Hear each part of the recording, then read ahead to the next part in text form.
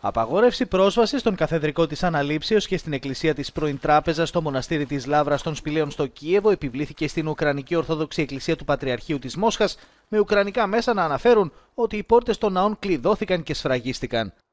Ο ηγούμενος της Μονής Μητροπολίτης Παύλος ανέφερε ότι μετά τη λειτουργία της 31η Δεκεμβρίου η θρησκευτική κοινότητα διατάχθηκε να εγκαταλείψει το χώρο του καθεδρικού και όλα του τα αντικείμενα.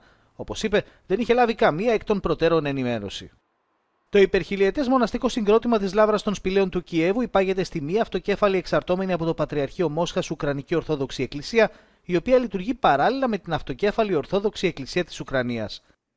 Το Μάιο προέβησε αλλαγές στο καταστατικό της στην κατεύθυνση της ανεξαρτησίας της λόγω διαφωνιών με τον Πατριάρχη Μόσχας Κύριλο σχετικά με τη ρωσική εισβολή στην Ουκρανία. Παρ' όλα αυτά, το Κίεβο την κατηγορεί για αντιουκρανικές δραστηριότητες και ερευνά πάνω από 20 υποθέσεις εις βάρος δεκάδων κληρικών της.